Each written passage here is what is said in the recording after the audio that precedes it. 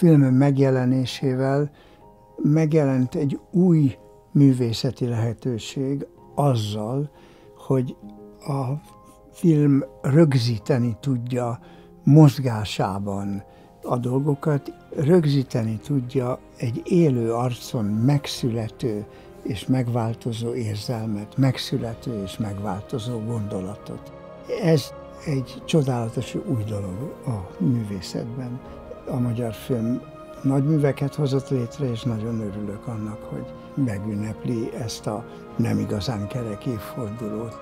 A Magyar Filmarchívum és kiállítással emlékezik meg a magyar film eddigi útjáról, de reméljük, hogy ez csak egy kilométerkő, és fejlődik tovább.